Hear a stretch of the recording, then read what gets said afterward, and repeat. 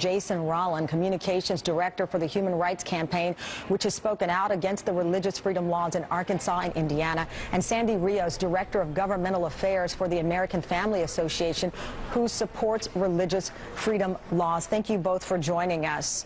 Thank you, Tamron. Sandy, let's start with you. I want to get your reaction to uh, what you heard from Governor Pence yesterday and this clarification of the law you supported, uh, which would greatly change in many ways some of the, I think, the things you were expecting. I think there clarification needs to be happen. Clarification is needed, Tamron. The problem is that the law has been completely mischaracterized. So the Religious Freedom Restoration Act is a protection for every single person listening to me. It isn't about coming after gays or lesbians. It's not about coming after anyone. It's about, it's what we would call a shield, not a sword. It doesn't cause anybody to do anything. It provides a way where people who have strong religious faith and convictions about certain things can defend themselves in court if they're being forced to do something that goes against their conscience. I think part of the problem is that people don't know the whole story. They're being whipped into a frenzy over things that are not true. And what and part of the story, a big part of the story that they don't know, they probably don't know about a woman named Barronelle Stutzman, 71 years old, a grandmother who owns a floral shop in Oregon, inherited from her mother, who has gay employees, serves gay people all the time, but a gay couple came to her, asked for her to do, give her artistry to their gay wedding, and she said, I, I can't do that. She's, they've been customers of hers for years, but she said, I don't agree with gay marriage, I can't do that. And now they're trying to take Barronelle's homes, they're coming after her, trying to take her business, and by they, I mean mm the government in Washington State, because she doesn't have a right as a 72-year-old grandmother to say, you know, I love you, you're my customer, but I don't agree with gay marriage, and I just can't give you my artistry. The same thing happened to a young couple in uh, Aaron and Melissa Klein, who had a cake shop. And they, Melissa does all these beautiful cakes. She was asked to do a cake for a gay wedding, and Melissa said, I can't, in good conscience, I can't do this. So now they've been fined hundreds of thousands of dollars. They have five small children. They've had to give up the business. This is the part of the story that people are not hearing. But, but let me read a statement um, regarding Angie's List that the American Family Association released. Your organization, Angie's yes. List, one of the businesses um, who stood firm against the law in Indiana. This is the statement from your group. Unfortunately, Angie's List has joined with thousands of homosexual activists, including lesbian Ellen DeGeneres, in opposing religious freedom for all people in Indiana. Angie's List implies support for the concept that Christian business owners should be prosecuted by law if they do not violate their deeply and sincerely held religious beliefs by bowing to homosexual activist demands, as is already happening in the states without Religious Freedom and Restoration Act. Angie's List and others have said, including Walmart in Arkansas, they do not want businesses to be able to discriminate, whether it is a gay or lesbian couple or whether there's an African American couple or an interracial couple who comes in and wants to be uh, a customer and a bakery, as you mentioned, or a florist can say no based on my religious beliefs. Think about what you just said, Tamron. Okay, does that mean now Angie's List is going to have to start posting, you know, uh, somebody to work for the KKK? You know, we need a new secretary, or we need to advertise our next meeting. Or this is the way it works. This particular act protects everyone, including gays and lesbians. You are not, you know, a gay cake baker could not be forced to, you know, do a cake for a celebration of the fact that marriage is only between a man and a woman and to make sure they make a cake that expresses that. They don't have to do that under this protection. This law is a shield, not a sword. It's being mischaracterized, and you know what? I'm so then why is the governor changing? Why is the governor now saying, um, a few days after uh, pretty much what he said was a terrible set of interviews on Sunday, that he needs a clarification and that Indiana Hoosiers need a clarification here. If it's A-OK. So I, I think it's no, I think it's pretty obvious, Tamron, that he's been threatened economically. Indiana has been doing fabulously. It's been one of the most successful states in the union in terms of bringing in economic growth. So now all these businesses are threatening him. Uh, even the, you know, the uh, NCAA tournament, uh, NASCAR. I mean, so you see, here he has all the people's lives in Indiana at you know, in his hands, their future, their economic future, and uh, he's beginning to feel the heat. I think that explains it, but that doesn't make it right. It's wrong. This bill is logical. It's reasonable. It protects freedoms for every American. It happens to be Christians right now because they're really taking a hit. And I have to say, of the gay people that I know, not the activists, because they don't care, all they want is their way. They are insatiable.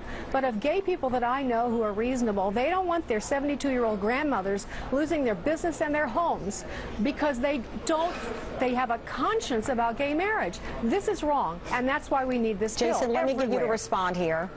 Sure. I mean, I think you know I want to address the misperceptions and the the the sense from uh, from Sandy and from Governor Pence that people don't understand the inherent danger and animus driving these types of laws. Okay. Last night, Nike opposed this bill, spoke out forcefully against it. Microsoft spoke out forcefully against it. We've seen Apple CEO Tim Cook speak out forcefully against it. They know what this law is about. This law is about empowering people who wish to refuse service to committed, loving gay and lesbian people because of who they are or who they love. That's No, wrong. that's why that's why the companies are opposing it. That's why the American people are uh, opposing it. No, they don't. They don't know the whole story, Jason, and that's They're pretty smart people, mischaracterization. You know Sandy. I think they know the whole story. No, I don't think they're pretty smart at all. Have you, you seen don't think the CEO say? of Apple is smart, Sandy? You don't think the CEO of Apple is you know smart? what? If he were smart, why was he doing business with countries where they are actually executing homosexuals? Does that concern if- you, Jason? I think That's where Apple's doing business. I so think- now he's he's really upset about Indiana because they're trying to protect people of conscience from not having to do things that breach their conscience. But he's okay with selling Apple computers to, to countries that execute What about the men. NCAA? Is that okay? What, what, what about the NCAA? What about the, the, NCAA watches. Im- They watch the media. They watch the, the ridiculous ex, uh, exaggeration and Listen- overstatement listen that, to- that is applied, urge- supplied by Human Rights Campaign. But Sandy, let me, let me let me say here, the, one of the conservative groups that joined forces with yours um, to get the original version of the law passed said that their impression, the intent of this law, and that's a big, um, I think that is an important part of this. The intent says that Christian bakers, florists, and photographers should be should not be forced by the government That's to participate in homosexual weddings. Pastors should not be forced by the government to conduct agree, a homosexual wedding at the church. So They shouldn't. Let me And they're finish. not. A pro-life business owner should not be forced by the government to rent its facilities to a pro-abortion shop. The governor now says the clarification that is needed in Indiana is to clearly state that all are welcome in the businesses to do business in Indiana, that any person who wants to go into a florist, knows it doesn't matter who they love, I believe is how he put it, should be served at that baker, at that florist. That is what the governor seeks to clarify. Is he wrong? Tamron, you know, we don't need to clarify that. I have to say, you know. Yes, thi- we do. Okay, this gets in the weeds. This law says unless there's a compelling public interest, uh, you can't force someone to go against their, against their conscience. We had the same thing happen when the, uh, the, the morning after pill was legalized, and uh, there were pharmacists who didn't believe in abortion, and they didn't want to give the pill, so they'd say, here, go to next door, here's a pharmacy, that'll give you the pill. But I personally, in good conscience, can't do that. We had this fight over this. And I'm just saying, you know, gay men and women who want to get married can go to another florist. They can go to another cake shop. They continually target people that they know have very strong Christian convictions for This this, is very why- purpose. They will not explain. allow any fences, any fences whatsoever. They want their way no matter what. They want everyone to bow the knee. And But would you say that some might see your view that way, Sandy, that you want it No, your way? No. Let me finish. You want it your way, and you've lost to successful businesses who, for whatever reason, you say threaten, but stand by their convictions, and it appears they've won in Indiana. No, I don't think that. I think it's a little soon to say that, Tamron. But I would say that businesses, they listen. Businesses don't are not known for their moral compass. Hobby Lobby is an exception. You know, Hobby Lobby has a strong history of strong moral convictions in the way they do business. But that when sounds as if you're saying if they don't agree with you, then um, they want it their way, and, and there are these random activists in media who are spinning the story. If, if they don't agree with you and your position, then you've dismissed them from Tim Cook to the Tamron- NCAA to Angie's List. That if they don't agree with you, Walmart. then shoo them No. away. Is Tamron, my, my position is that every American has a right to exercise their conscience. I think MSNBC actually has a right to refuse commercials round the clock that promote racism and, uh, you know, discrimination or separation. You don't have to take those ads because that would really be a problem, wouldn't it? Wouldn't that bother you if MSNBC ran ads? You know, they bought the time and they want to say, hey, uh, whites are superior to blacks, or you know, we should we should have separate but equal. You know, you would have a problem with that, and you know what? You you shouldn't have to do that. MSNBC shouldn't have to do that. This law is protecting all of us from having to do things that we have a conscience against. It is a reasonable law. I don't think it needs to be No. amended in Indiana. I think we, we've had the protection since 1993. Not How only, many not only is what Sandy is describing, not only is what Sandy describing, not only comparing apples to oranges, it's comparing apples to Volkswagens. At the end of the day, Okay. there is no religious freedom crisis in America. The only crisis is the rising wave of anti-LGBT Oh, really? legislation, Well, which at its Barronelle core is being driven she- by activists like you.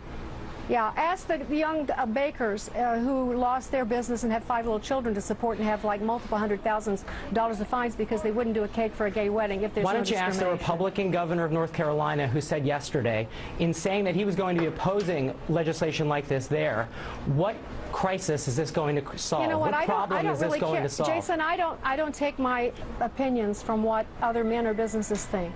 I, I just think this is common sense that you and I. I think it isn't common sense. I have think the freedom American people agree. To hold to our conscience. No, they don't. They don't even know who Barronelle Stutzman is. They don't know who the bakers are. They don't know the whole story. Okay, Sandy, You see, thank you so know- much for your Yeah, time. and you're- you're Jason, we're welcome.